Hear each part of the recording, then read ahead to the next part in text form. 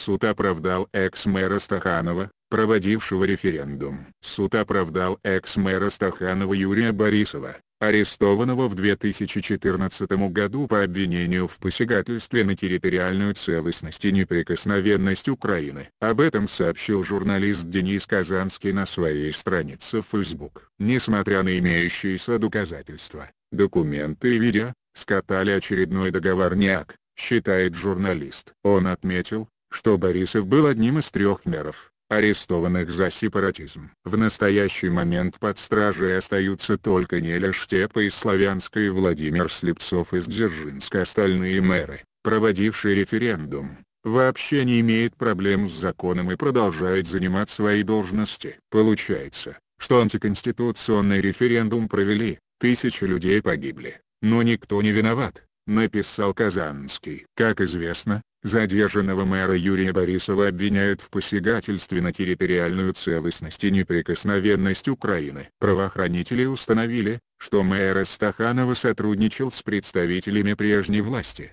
а также некоторыми действующими депутатами от партии регионов. При их поддержке Борисов организовал и обеспечил проведение в Стаханове незаконного референдума 11 мая по отделению Луганской области от Украины. Ранее сообщалось, что Борисов сотрудничает со следствием по вопросам организации проведения и финансирования референдума по созданию Луганской Народной Республики.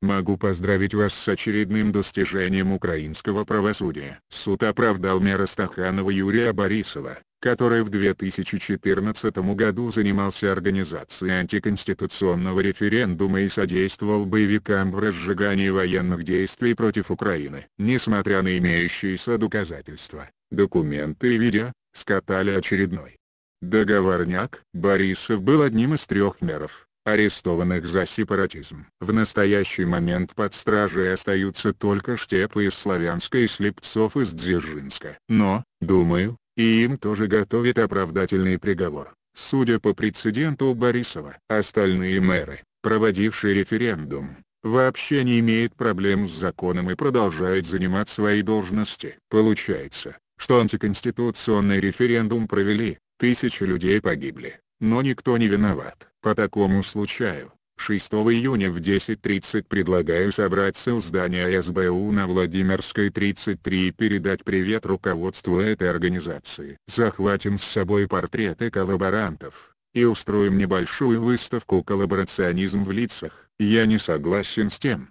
что происходит и не могу оставаться в стороне. Государство, которое не способно себя защитить, обречено на погибель,